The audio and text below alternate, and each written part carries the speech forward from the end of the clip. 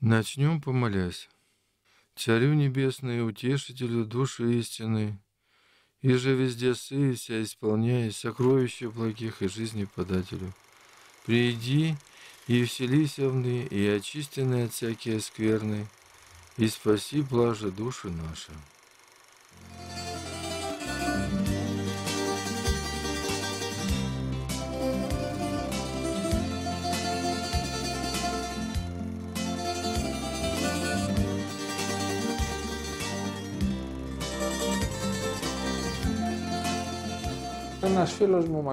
Один мой друг предложил нам посетить Святую Гору.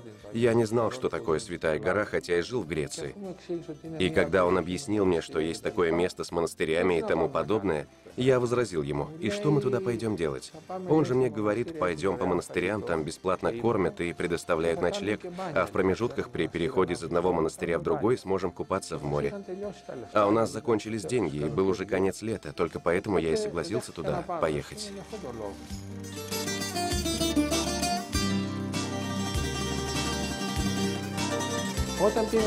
Между тем, когда мы были на Святой горе, многое стало для меня сюрпризом. С одной стороны, мне очень понравилось само окружение, как оно устроено, сам образ жизни. Но наибольший восторг я испытал, когда уже стал беседовать с монахами. Тогда я обнаружил, что у них принята своя система ценностей, совершенно обратная той, что существует в обществе. Они отличались таким желанием послужить другому, чего никак не встретить в нашем мире. Меня это очень впечатлило. В монастыре, в котором мы жили, в монастыре Кутломуш, я познакомился и подружился с одним своим ровесником-монахом. Наши беседы произвели на меня большое впечатление. Он таким образом после всех наших бесед предложил мне встретиться с отцом Паисием. Я, естественно, не хотел идти. Он же говорит мне, это здесь рядом, 20 минут отсюда. Но что я туда пойду? Пойдем, я тебе говорю. Он же не такой, как мы. И что в нем такого? Он чудеса творит. И пошел я навстречу со старцем. Келья старца, где он жил, находилась посреди леса и была огорожена вокруг забором из проволоки. Дошел я таким образом до этого забора, до калитки, постучал по железу на ней, и заметил с расстояния метров 50, что кто-то вышел наружу. Лица мне было незаметно, и он окликнул меня. «Эй, паренек, чего тебе нужно?» Отца Паисия, говорю. «А зачем он тебе?» «А ты разве мне не откроешь?» «Ну ладно, давай, открою тебе». Нацепил на проволоку ключ, и по этой проволоке спустил его вниз, от дома прямо ко мне до самой калитки. Я открыл калитку, он попросил ее опять закрыть, я ее запер и направился к дому. Когда я подошел, он был на балкончике сверху, а я внизу. Он обратился ко мне с просьбой, у меня упала кофта, ты мог бы мне ее подать? Действительно, я подошел туда поближе, подобрал кофту и потянулся вверх балкона, чтобы отдать ее обратно. Когда я посмотрел в его глаза, я до сих пор помню его взгляд. Голова моя неожиданно склонилась вниз потому что я увидел свет, свечение, выдержать которое было невозможно. Голова моя склонилась. То есть свет, который я видел, это сияние, свечение, это духовное величие, были не похожи на обычную вспышку или на яркий свет, но глубоко изменили меня, затронув мой ум, мою душу и мое тело. Я испытал восторг.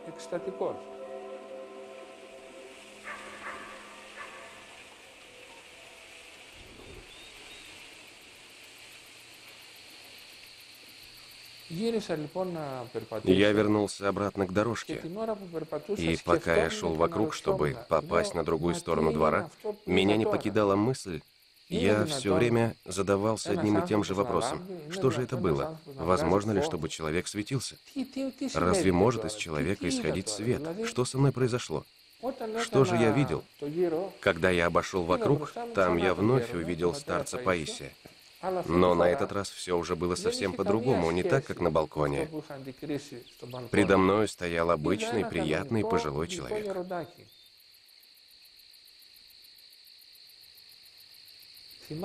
Помню, когда я смотрел как-то на икону Преображения, там, где изображен Бог Христос в сиянии, со своими апостолами внизу. В тот момент пробудилась моя память, и я подумал, нечто подобное произошло со мной, когда я увидел в первый раз старца.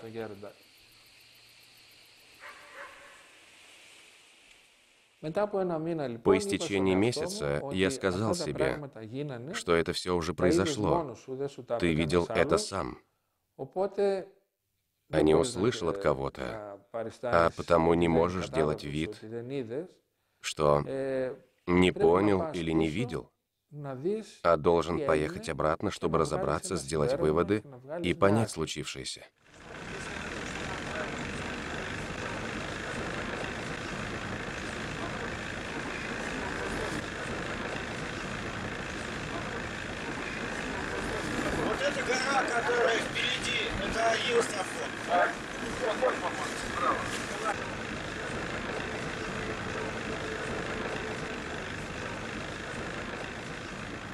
Для всех, кто нуждается в духовной поддержке.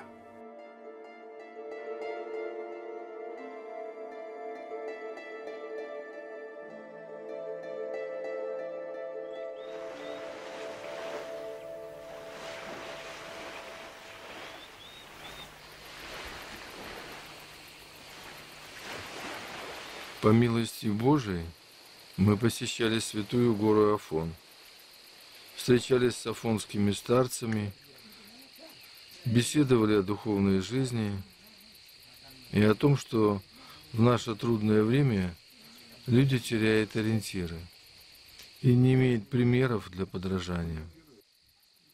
Это старец Гавриил. В одной из серий этого фильма мы обязательно о нем расскажем. А вот другой афонский старец – Отец Ефимий посоветовал нам обратиться к жизни современного подвижника, человека святой жизни, старца Паисия Святогорца, и снять о нем документальный фильм. Ну вот мы и сняли. В основу этого фильма положена книга «Житие старца Паисия Святогорца», написанная иеромонахом Сааком в 2004 году. Вот житие старца в русском переводе – Автор жития монах Исаак почил 16 июля 1998 года. Это его могила возле Калива Ефимия. Также в этот фильм включены свидетельства многих людей, лично встречавшихся со старцем Паисием или живших рядом с ним. Вы услышите фрагменты текстов самого Паисия Святогорца и увидите места, где он жил. Иеромонах Исаак – Житие старца Паисия Святогорца. Глава первая. Предки по плоти и духу. Акритские фаросы. Семья старца. Родина старца Паисия – селение Фаросы. Это было зажиточное греческое село, оплот православной веры, греческого языка и культуры в Каппадокийской земле. Сейчас эти территории принадлежат Турции – Фаросах насчитывалось 50 церквей. Некоторые из них в византийскую эпоху были монастырями и переживали расцвет. Последним ярким и совершенным выражением следования этому преданию был приходской священник села святой Арсений Каппадокийский, который жил с 1841 года по 1924. Видя его святую жизнь и многие чудеса, к нему стекались не только христиане, но и мусульмане со всей Каппадокии. Жившие в этой благословенной среде предки старца Паисия отличались особенным благоговением.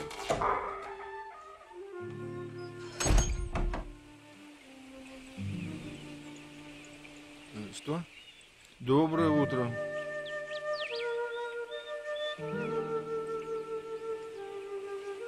Мать старца звали Евлогией. Она происходила из рода франгополосов и приходилась родственницей преподобному Арсению Каппадокийскому. Имена детей Продромаса и Евлогии по старшинству следующие – Зоя, Мария, Рафаил, Амалия, Харалампий, Арсений, впоследствии старец Паисий, Кристина и Лука. Когда родился отец Паисий, родители хотели его покрестить. Отец Паисия был старостой в деревне, он тесно был связан с отцом Арсением. Во время крестин тот хотел дать младенцу имя его деда, своего отца. И тогда говорит ему святой Арсений, «У тебя много детей. Я хочу дать ему свое имя. Разве мне нельзя ставить после себя какого-то монаха?» Он именно так и сказал. А святой Арсений, никого не спрашивая, опустил младенца в купель, провозгласил «Крещается Арсений». Там, как вы понимаете, были все родственники, и дяди, и тети. Они все начали кричать и возмущаться, обижаться на отца Арсения. Да кто он такой? Не спросил никого.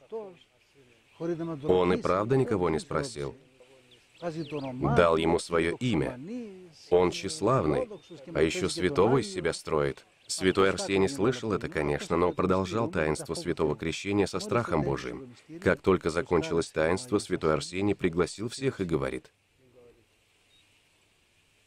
«Не кричите», — говорит, «не осуждайте меня, потому что этим грешите».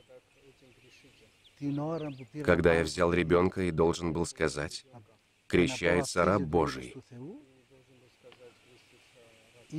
я увидел светлый крест на его лбу.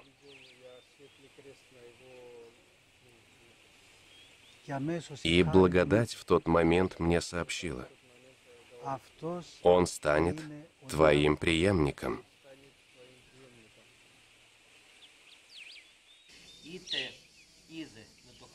Святой Арсений дал младенцу свое имя.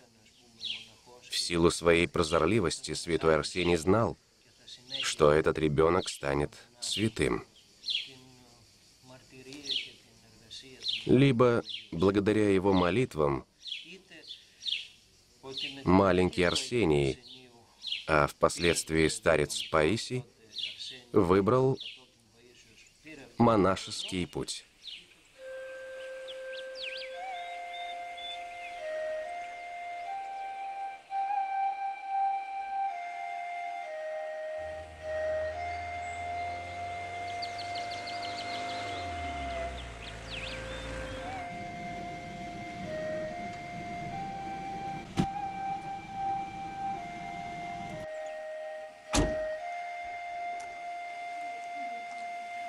Да, напишите «Помолиться о упокоении старца Паисия». Родители Евлампия, Продром, дети их Харалампии, Лука, Христина, Мария, Зоя, Амалия, Сатерия и Катерина. Да, он единственный, кто остался жив. А святого Арсения помнишь? Арсения. Он всех детей крестил, он же был священником деревни. Всех? И тебя Арсений крестил? Да, да. М -м, и преподобный Арсений крестил. В том же году, когда родился старец, греки Малой Азии были с корнем вырваны из родного отеческого края. Это событие начала 20 века получило название Малоазийской катастрофы. После поражения Греции в греко-турецкой войне произошел обмен населением, который производился по этническому принципу. С территории Малой Азии было изгнано около полутора миллиона греков – по официальным данным, в то время погибло более 350 тысяч человек. На самом деле потери были значительно больше. В путь отправились 14 августа 1924 года. Причем турки пришли раньше срока и стали выгонять людей. Отец Арсений, как добрый пастырь, повсюду следовал за своим стадом. Хотя это был обмен населением, а не переселение – Турки, как всегда, вели себя, как злые осы. Если в Фаросе было, скажем, тысяча, две тысячи жителей, в Грецию приехала только половина. Все остальные, кто умер от голода, кто от недобрых рук, от лишений, от болезни – пока добрались сюда. Обмен произошел в 1924 году, и тогда старцу Паисию был один месяц, 40 дней примерно.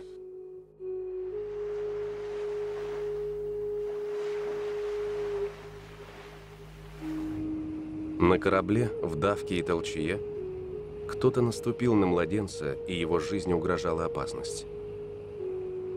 Но Бог сохранил избранного своего живым, потому что ему предстояло стать поводырем многих душ в небесное царство.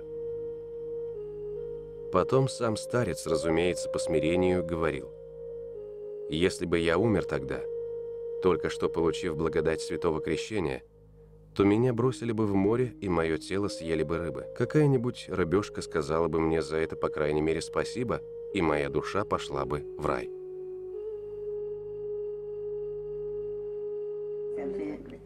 Тогда много народу на корабле было. Друг на друге. Действительно на него наступили. Ему на корабле исполнилось 40 дней. Рафаилу было 8 лет, когда из Турции переезжали. Он помнит Турцию. Море было большое. И корабль был очень большой. И отец сказал, он был старостой деревни и защищал жителей. Он сказал, либо вы перестанете так себя вести, либо я выброшу вас за борт. Или ты своих собак присмиришь, или я выброшу их в море. И приехали мы сюда, где заканчивается Большое море.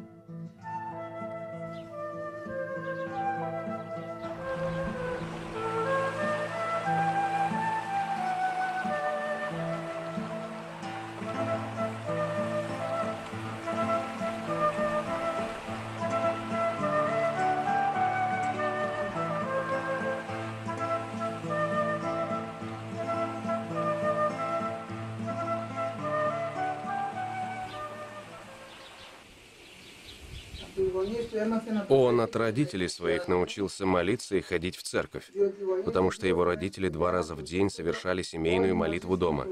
Когда он был маленьким в коннице, поскольку он быстро бегал и всегда побеждал в соревнованиях, его дразнили беженцем и не давали бежать с другими ребятами. Он шел жаловаться к матери и говорил, «Мама, меня обижают другие ребята и не дают бегать».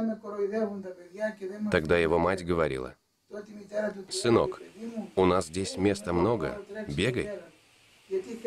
Зачем ты хочешь, чтобы на тебя смотрели? Чтобы возгордиться? Чтобы быть первым? Нужно быть смиренным в своей жизни. И этот урок своей матери он усвоил на всю жизнь. Он всю жизнь оставался смиренным и жил просто и смиренно.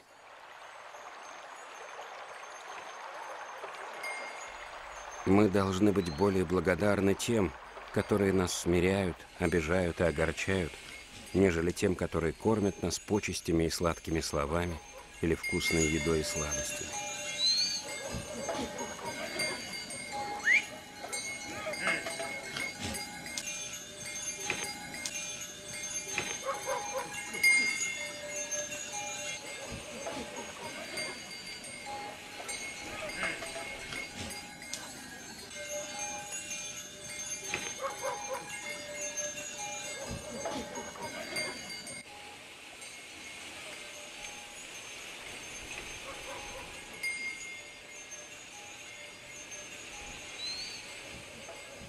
Выучившись хорошо читать, Арсений раздобыл священное писание и каждый день читал Святое Евангелие. Также он где-то доставал жития святых. Прочитанное в житиях он старался применить к себе. Как-то он прочел, что если ты боишься находиться в каком-то месте, то надо приходить туда почаще, чтобы этот страх изгнать.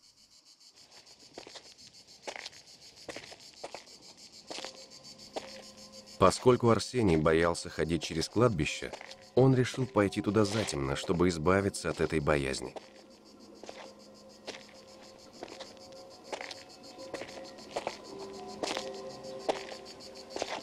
Днем, рассказывал старец, я приглядел на кладбище одну пустую могилу. Мое сердце отчаянно забилось, и я залез в эту могилу. Сначала было страшно, но потом я освоился.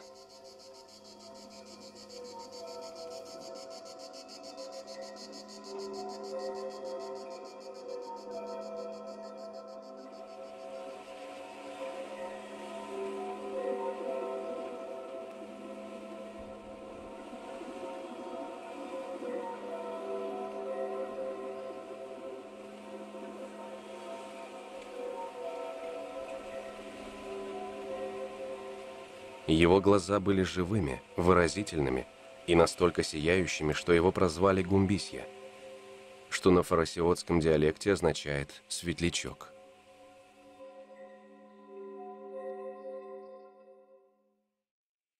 Однажды мои братья и сестры трудились в поле. Мать приготовила еду, но отнести ее было некому. Мать расстроилась. Поле было в двух часах ходьбы от нашего дома. «Давай я отнесу им обед», — предложил я. «Ну как ты узнаешь дорогу?» «Спрошу у кого-нибудь». Я вышел из дома и зашагал, держа в руке крест, подобно святым мученикам, которых я видел на иконах. Я так и не понял, какой я шел дорогой.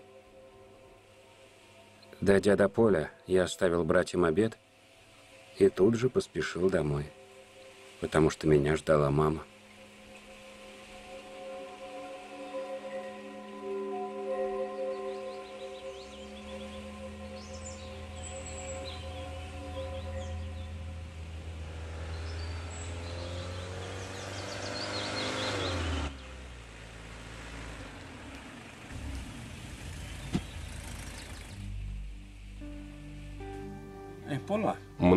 Мои прихожане помнят старца Паисия. Много рассказывали, были написаны книги, сняты передачи. Очень многое помнят. И я, конечно, его поминаю. Но, может быть, он не очень нуждается в моем поминании. Поминание значит воспоминание. Я всегда его поминаю, потому что он приходил сюда, в храм святого Николая. И когда был ребенком, и потом, когда стал монахом. Сейчас заходите, посмотрим храм внутри. А вся семья Паисия здесь причащалась? Да, они сюда приходили. Их дом здесь рядом, совсем недалеко. Расстояние не очень большое.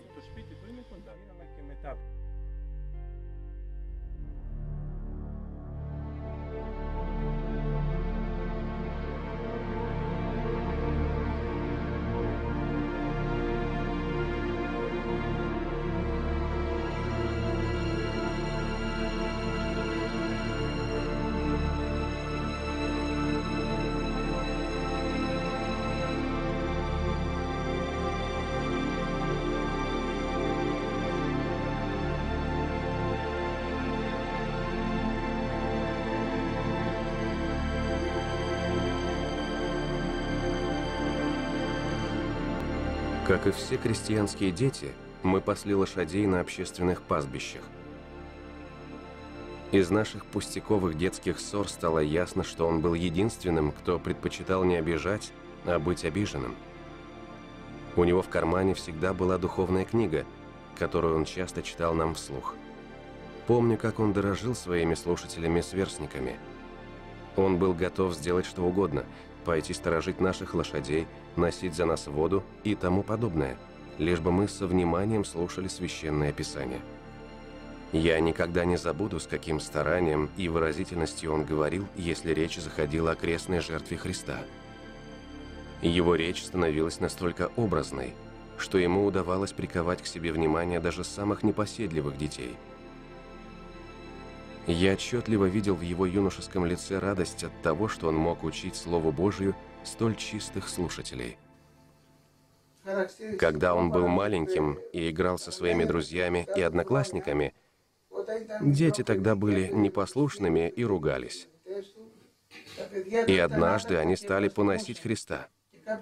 Тогда отец Паисий побежал со слезами на глазах в маленькую часовенку, там неподалеку, на кладбище. Зашел внутрь и стал рыдать и молиться нашему Христу, чтобы он простил детей, которые ругали его.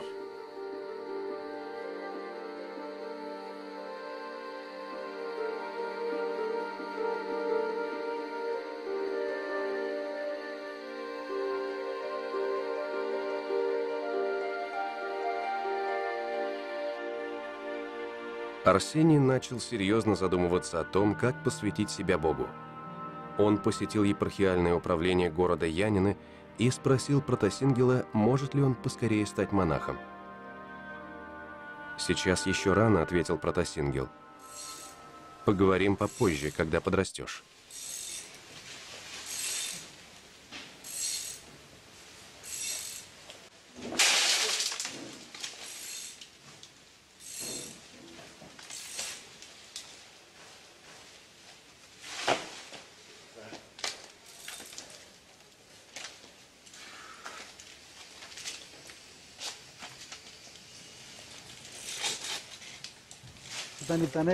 Когда отец Паисий был юношей, он мне говорил, я помню, что он ходил обучаться столярному делу. И когда он освобождался, он сам шел в поле и молился там со слезами. Его родители обеспокоились. Начали говорить, все, пропал Арсений. Он станет монахом, мы его потеряем.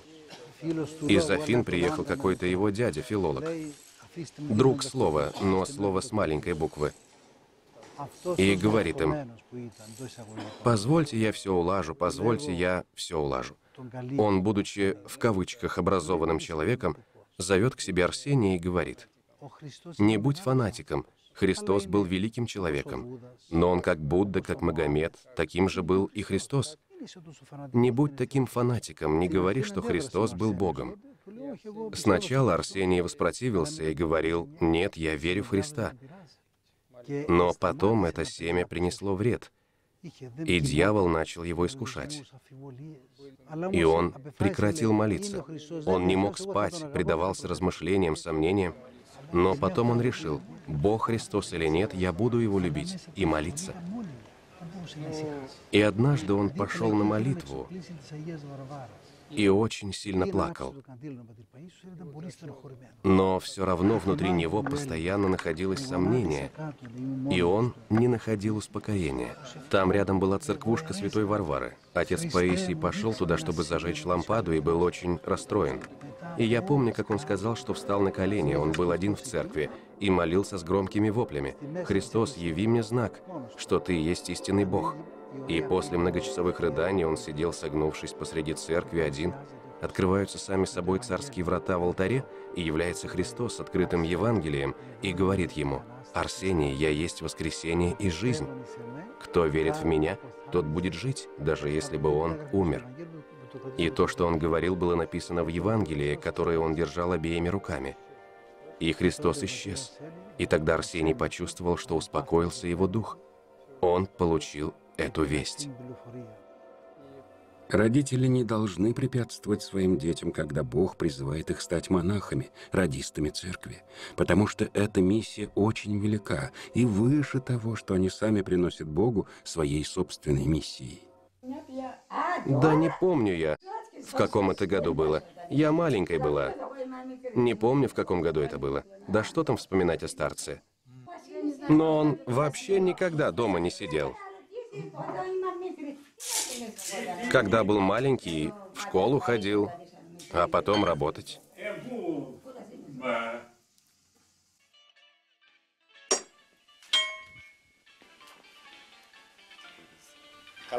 Хорошо? Хорошо.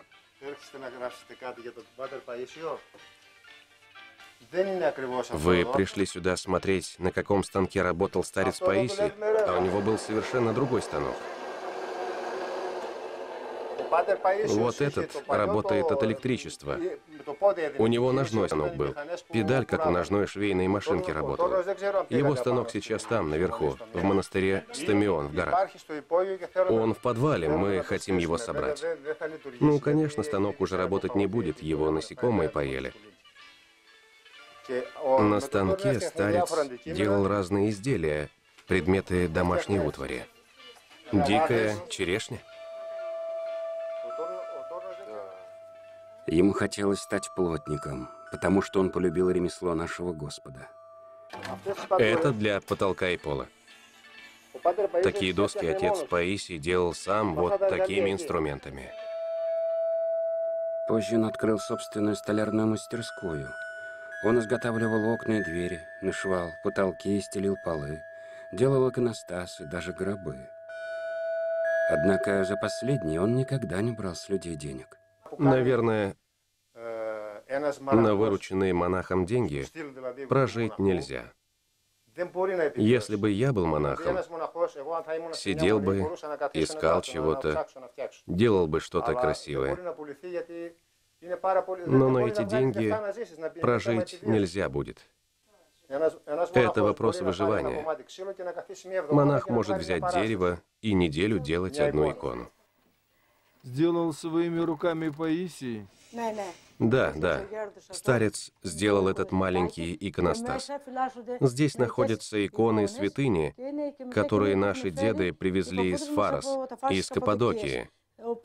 Наши бабушка и дедушка не привезли денег. Они могли бы продать имущество и получить деньги.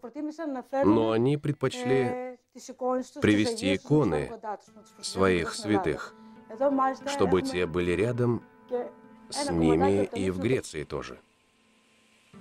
Житие старца Паисия Святогорца. Глава 2. Подготовительные уроки подвижничества. Подготовка к монашеской жизни. Его понятия о монашестве были очень высокими, и он старался как можно лучше подготовить себя к этому пути.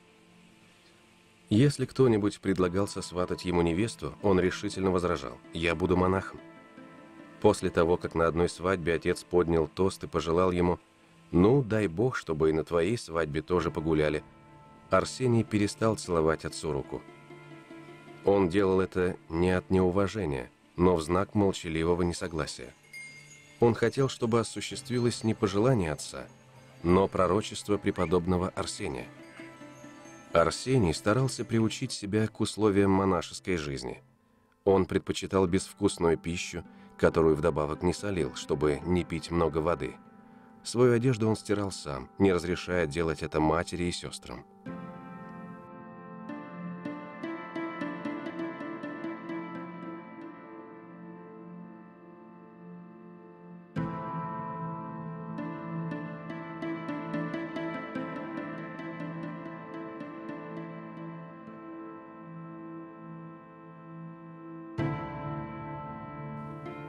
Годы, предшествовавшие 1940-му, до начала войны с итальянцами, мне тогда исполнилось 16, были лучшими в моей жизни. Потом война, счастливое детство осталось в прошлом. Трудно нам было.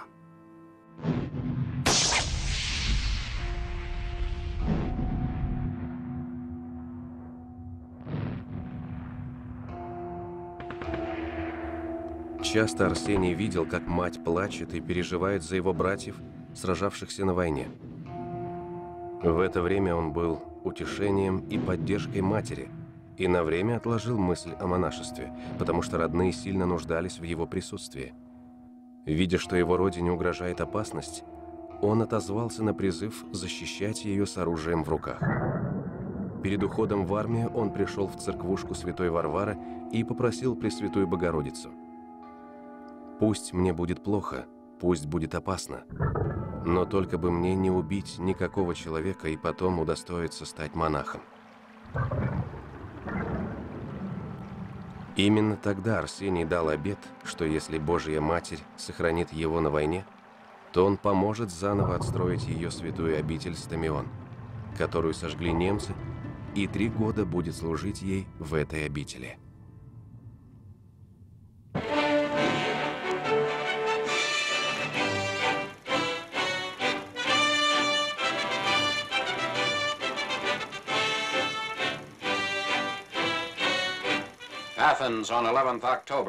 Афины, 11 октября. Через две недели после того, как национальная британская армия высадилась на Пелопоннесе. Как только отряды союзников проникли в пригороды, немцы, которые более трех лет оккупировали эту территорию, были изгнаны из столицы. Греческие операторы снимают эти события для новостей. Освобождение было отмечено трехдневным празднованием Афинин. Вода ввозится в огромных количествах. Из 7 миллионов греков около половины стало жертвами малярии и туберкулеза. Британскую армию встречают с большим энтузиазмом. Приток беженцев из районов, опустошенных нацистами... Сейчас мы вступаем в сражение не ради защиты Отечества. Мы ведем войну не за национальный интерес и не за какую-то идеологию. Мы сейчас сражаемся либо на стороне Христа, либо на стороне дьявола. Кто с кем, расстановка сил предельно ясна. Во время оккупации – ты становился героем, если не приветствовал немца. Сейчас ты становишься героем, если не приветствуешь дьявола. Нас ждет гроза. И наша борьба имеет цену. Потому что сейчас наш враг это не Али Паша, не Гитлер и не Муссолини, но сам дьявол. А потому награда наша будет наградой небесной. Инфляция составляла едва 1%, то теперь драхма почти ничего не стоит. Прибыль предпочитают извлекать из воздуха. В настоящее время дым сигареты приносит наибольшую прибыль. Фунт хлеба стоит 12 миллионов драхм, пачка сигарет – 20.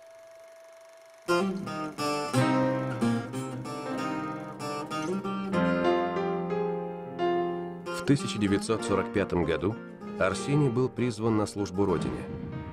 Он прибыл на сборный пункт в город Навплеон на Пелопоннесе и отправился в учебную часть для получения воинской специальности радиста. Его любовь к другим доходила до жертвы. Он выполнял за своих сослуживцев их обязанности, очень много работал. Если кто-то из солдат просился в увольнение, Арсений с готовностью замещал его на службе. Многие злоупотребляли его добротой и считали дурачком. Однако сам он чувствовал радость от жертвы, на которую шел ради других. Но надо сказать и о том, что воинская специальность радиста освободила его от необходимости прямого вооруженного участия в боевых действиях. Таким образом, божественной благодатью он был сохранен от того, чтобы убивать людей. Кроме того, воинская специальность Арсения оказалась подготовкой к его последующей монашеской специализации посылать Богу сигналы своей молитвой.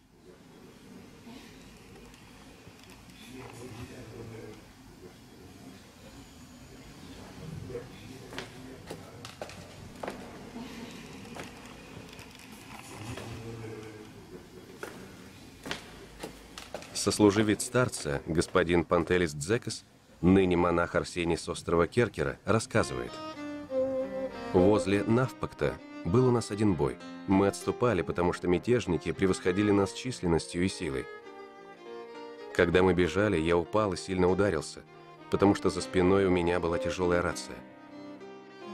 Когда остальные добежали до резервной линии окопов, которую определили как место отхода, Арсений увидел, что меня нет – вот тогда он снимает рацию и бежит обратно. И ему кричат офицеры, солдаты, оставь его, он все равно пропал. А он, потом другие мне рассказывали, подбежал ко мне, взвалил на плечи и потащил к нашим окопам. Очнулся я и слышу, как Арсению говорит капитан Вудурис. «Тебя, видно, какой-то святой крепко любит, раз он тебе помог. Да и этого ты тоже выручил». Я их спрашиваю, а что было, ребята?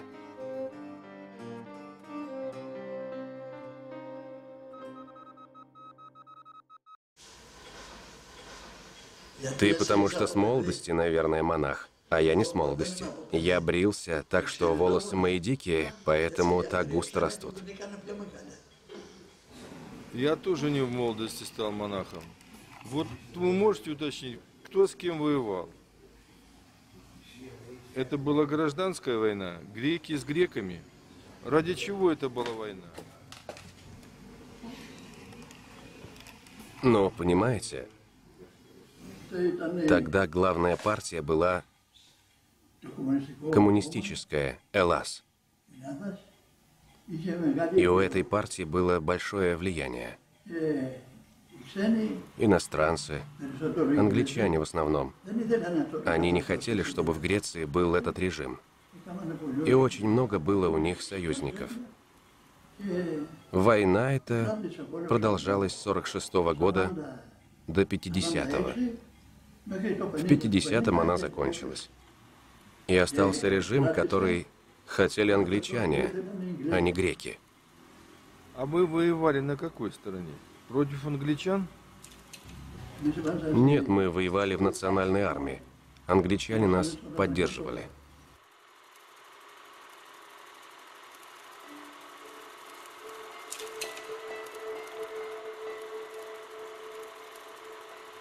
В одном бою, рассказывал старец, я вырыл себе небольшой окопчик. Один солдат подполз и попросился ко мне – я потеснился, и с трудом мы сидели в тесном этом окопчике. Потом, когда приполз еще один солдат, я выбрался из окопчика и дал ему возможность укрыться. Вдруг один осколок чиркает меня по голове. Я был без каски, только в капюшоне. Щупаю голову рукой и никакой крови не чувствую. Снова щупаю — ничего. Осколок сбрил на голове волосы, оставив голую полоску 6 сантиметров шириной, но не осталось даже царапины. Уступив ребятам место в окопчике, я сделал это от сердца. Лучше, подумал я тогда, если меня сейчас один раз убьет, чем убьет кого-то еще, а потом и меня всю оставшуюся жизнь будет убивать совесть. Как я вынесу мысль о том, что я мог его спасти и не спас? Конечно, Бог очень помогает тому, кто жертвует собой ради других. Война все расставляет по своим местам. На ней многое проясняется. Каждый поступает в соответствии со своим духовным состоянием. Если кто-то достиг святости, он ею может обезоружить врага. Если нет, может сказать, я убивать не буду, пусть лучше убьют меня. А давайте покажем фотографию, где он солдатом был.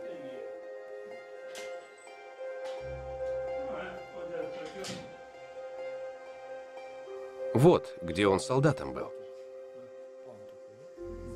Солдат. Вот снег здесь. Да нет, не в коннице. Да нет. Это там, где он был солдатом. Там война была.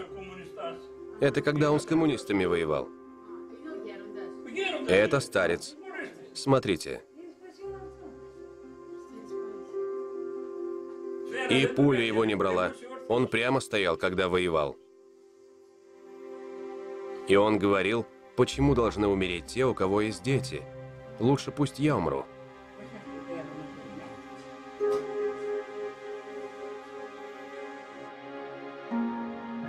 Полубатальон, в котором служил Арсений, принимал участие в боевых действиях.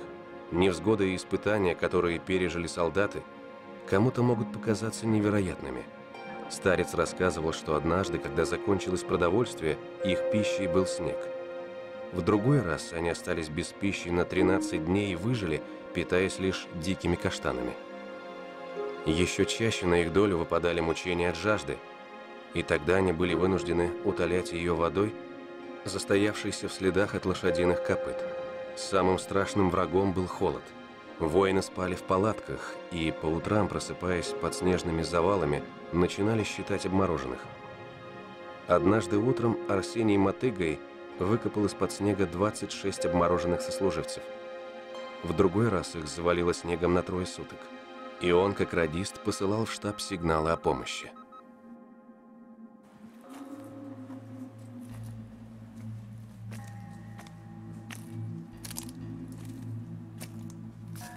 «Однажды, — рассказывал старец, — я не был на божественной литургии целых пять месяцев, потому что в горах, где мы сидели, не было ни священников, ни церквей.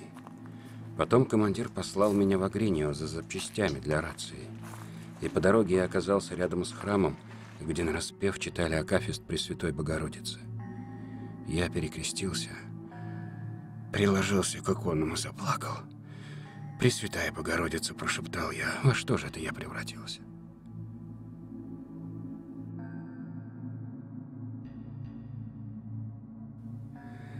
Однажды старец рассказывал следующее. Как-то мы пришли на стрельбище в Триполи, и я увидел, как от оврага исходит необычный свет, который для других оставался невидимым. Свет разливался по всему стрельбищу, несмотря на то, что был день. Тогда я не мог понять, что это за свет. Позже я понял, в чем было дело. На этом стрельбище расстреливали осужденных. И, возможно, там были несправедливо убиты и некоторые невиновные. Поэтому был виден этот цвет. По милости Божией меня не посылали в расстрельную команду. Конечно, расстреливать я бы не смог.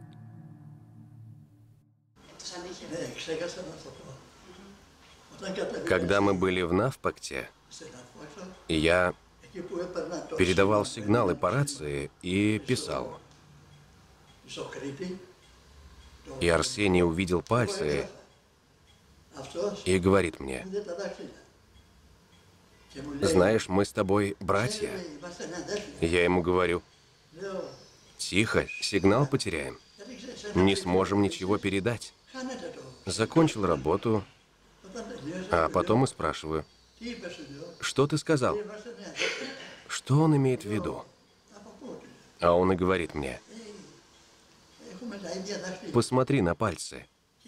Смотрю на пальцы и говорю, действительно, у нас с тобой одинаковые пальцы.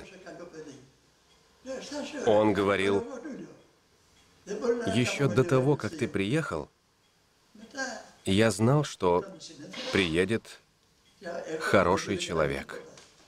И с тех пор, каждый раз, когда кто-то пытался меня расспросить об Арсении, о его духовных дарах, я говорил, ну что еще я могу добавить после истории с пальцами?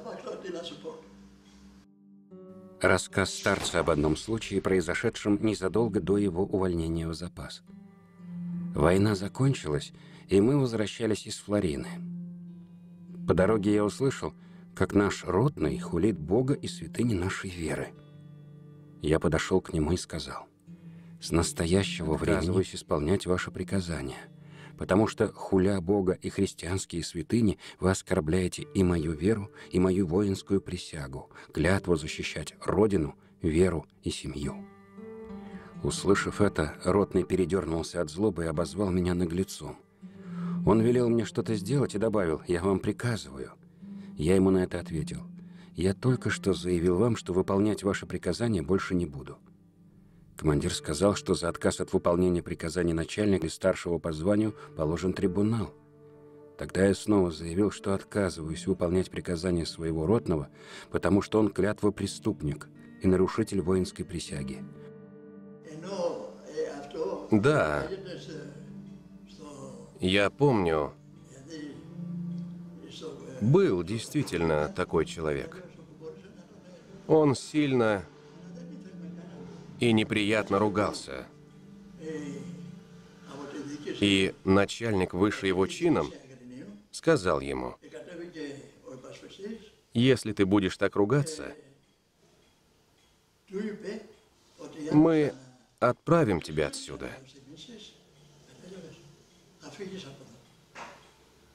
избавимся от тебя. Ну, и он прекратил ругаться. В марте 1950 года, отдав защите Родины около пяти лет своей жизни, Арсений получил свидетельство об увольнении в запас. Когда он прощался со своим другом Пантелисом, тот стал звать его на Керкеру, чтобы построить дома по соседству и создать там семьи. Арсений отказался. Он ответил, что станет монахом. Он поддерживал Отечество. Большим патриотом был отец Паисий. Отечество любил. Поэтому и в армии служил.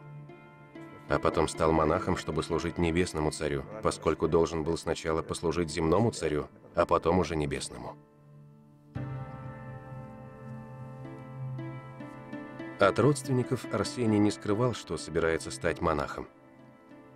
Но от душевной чуткости и благородства он говорил им, что остается в миру якобы потому, что еще не готов к монашеству, чтобы родные не переживали из-за того, что исполнение его желания задерживается из-за них. По-человечески он сделал все, что было возможно, и в мирской жизни не оставил ничего недоделанным и неулаженным. В марте 1953 года Арсений был уже готов к тому, чтобы последовать монашескому призванию – которое проявилось в нем еще в младенческом возрасте. После горячей молитвы он выбрал из трех возможных вариантов один – отправиться на святую Афонскую гору.